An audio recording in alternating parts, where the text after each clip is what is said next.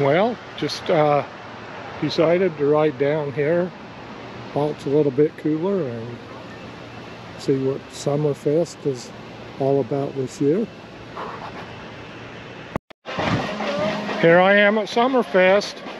We uh, met up with Tammy and the girls and there's my sweet mother-in-law Renee.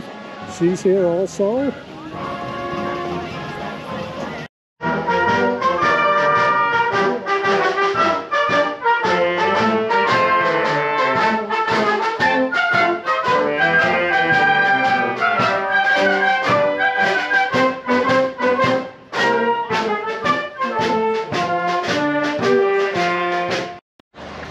Well, this is my favorite part of Summerfest, things like this, is food roll.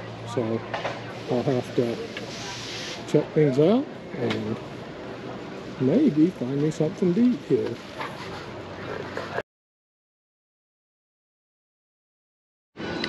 Well, with all the different choices down here, I figured you can't ever go wrong with tacos, so I went and got some tacos and beans and rice.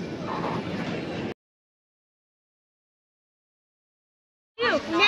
And the girls just got tattoos from this little guy right here. Oh my heck, let's see. Here, Jackie. Oh, and it's a free Look at tattoo. that. Yes. No wonder. We gave him a tip. One of the that Kate had on her arm. Oh, my air plant. It lasts longer. It stains your skin. Well, got Summerfest knocked out for the year.